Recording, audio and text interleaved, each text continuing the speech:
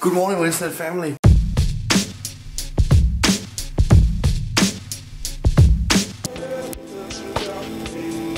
Hold da op, man. Det er noget nærmest kun lige at komme afsted i dag, og så er dagen gået. Jeg glemmer helt af de her fredage her, fordi vi er der så sjældent om fredagen, at de er så korte. Det er nærmest kun lige to timer, og så er den dag bare gået. Racing. Har du lige øh, stukket en finger med chili ind i dit øje? Ja. Først så kom jeg til min næse og brændte det rundt her. Og så tænkte jeg efter, at på en halv time, tænkte jeg, nu må det være væk. Så kløede jeg sådan, så var det bare. Øj. Det var også det, Inghoff og Jesper gjorde, da vi havde 24 timers livestream. Der, altså, det så ud som om, at Inghoffs hoved, altså han har bare fået tæsk af 10 rocker. Open the chocolate, Nina. Open the chocolate. Mm, mambo number 5 den sang? Jo.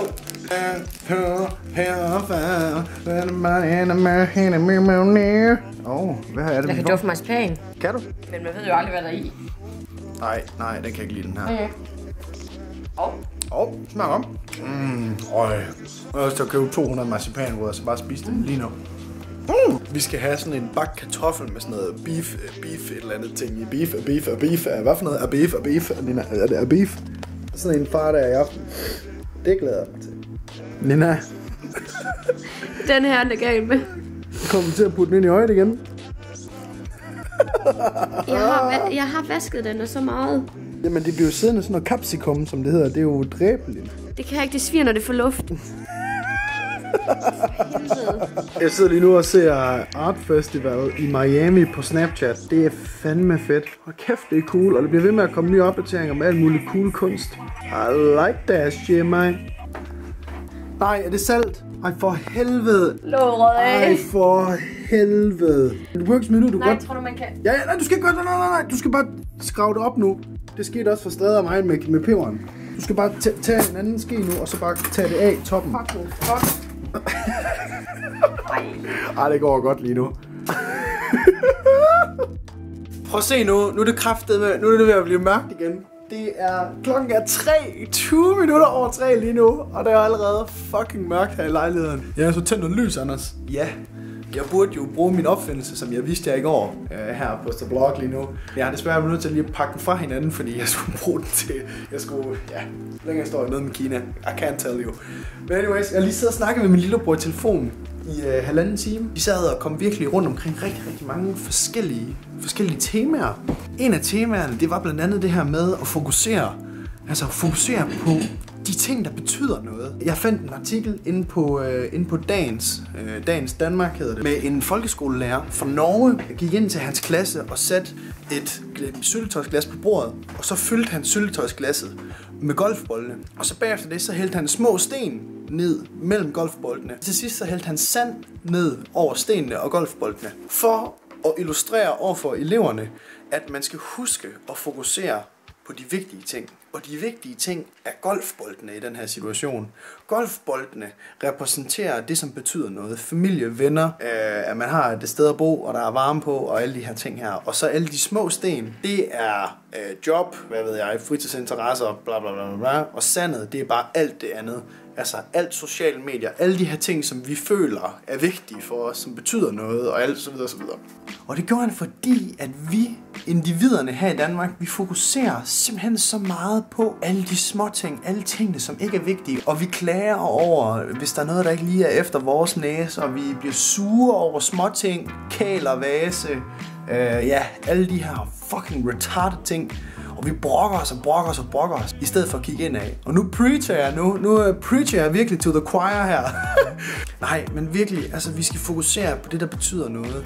Lad være med at hænge jer for meget i, hvor mange likes jeres venner får på Instagram og på Vine og på YouTube og views og sådan noget her, fordi at det er herinde, det er vigtigt.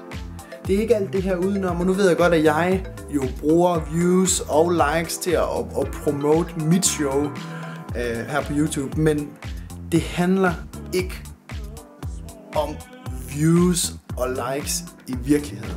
Det jeg udretter herude på internettet lige nu, det er, det er et show, det er et, en udfordring til mig selv, og det er en måde, at jeg kan blive en bedre editor, fotograf, videomaker, whatever. Det handler ikke om viewsene. Viewsene er vigtige for, at showet bliver større, og, og bliver ligesom en større ting, end det, jeg havde regnet med. Det er det, viewsene er der for. Og det er også en eller anden måde en slags anerkendelse, men det er ikke anerkendelsen, der er vigtigst. Det er processen i at lave to års daily vlogging. Ja, nu bliver det, nu bliver det også alt for meget, der er mange af jer, der allerede klikker væk. Men det, jeg vil bare lige hurtigt sige til jer, for helvede mand, lad være med at hænge jer for meget i alle småtingene. Hæng jer i det, som er vigtigt for jer. Fredag lige nu, og jeg har simpelthen, jeg har virkelig, virkelig lyst til noget snack. Virkelig lyst til snacks. Jeg har både lyst til slik og kaffe nede for Sigfred, og jeg har lyst til at play den games, og... Oh, Dammit! Kan jeg ikke den der følelse, at man bare kan, man bare kan nogle snacks? man kan nogle snacks. jeg har lige set den nyeste episode af South Park, og jeg behøver vist ikke at, ikke, at, ikke at sige meget mere, end at lige, bare lige spille et lille bitte øjeblik af det. Åh, oh, de laver pis med game commentary. det er fan fucking tastisk sjovt, altså. Hold nu op.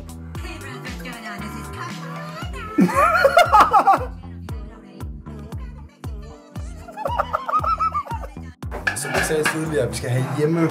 Eller hvad fanden hedder det? Hjemmebagte kartofler. Det hedder sgu da ikke, det hedder. Bagte kartofler. Bagte kartofler. Right, right, right. I mikrobølgeovnen bagte, så det er lidt spændende.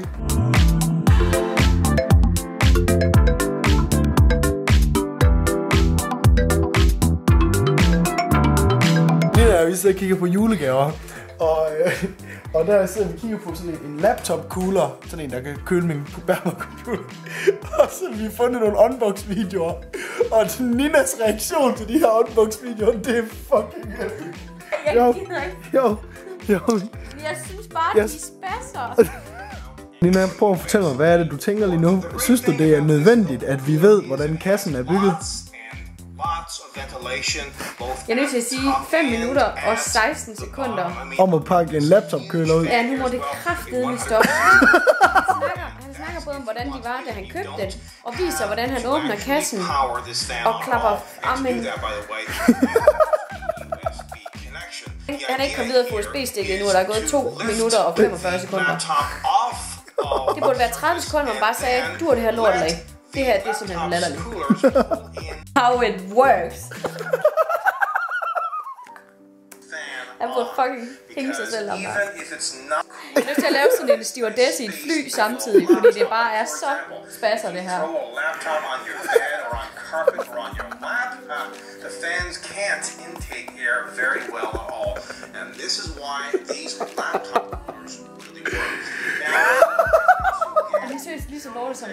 reklame? This is really nice. You can either have it on your lap or put it in your face. Uh.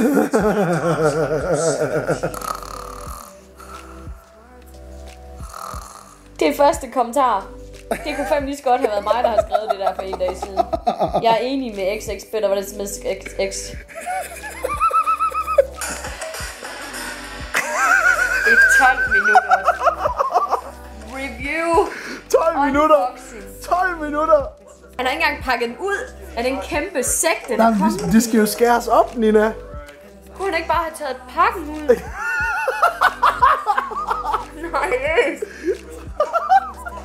Du ved godt, jeg ikke engang har lavet sådan nogle videoer Jo, jeg skal lige ind og se dem, tror jeg, de er lige så lort som Ja, det er lige så lort som det Der der. var den. Kunne, han ikke bare have startet nu, så har vi allerede sparet et minut? Prøv lige bare lige spole lidt. Prøv lige spole hen på 5 minutter. Og hvorfor tester man noget sort på et sort bord med en sort computer? Jeg kan ikke se kugleren, for fuck's sake. Nina, Nina, vi, muter lige, vi muter lige det, han siger her. Ikke? Og så giv mig lige den commentary, som han bør lave her. Kan du lige please kan Nej, vil du godt kan jeg fortælle dig, hvad han siger? Ja. Okay, øh, den her har en X-form. Øh, den går herfra og hertil. Et X, en X-form. Så har den øh, en blå streg. Hvorhen? En blå streg. Ja, ja. Øh, og en blå streg. Okay. En blå streg. Ja. Og her er min fede hånd ovenpå. Øh, Oven på skærmen, på din bærbare skærm. jamen, det må Din finger, er, din finger er lige nu på bærbare skærm. sige. Ja, Nu er min hånd på er et dit X. ansigt, ikke? det her er et X. Ham, han lukker lortet. lately. Jeg spørger bare lige ham. Tror du ham her, han har en hestehæl, Tror du, han har et barn nede i kælderen? Det jeg nok, som ikke er hans? Ja.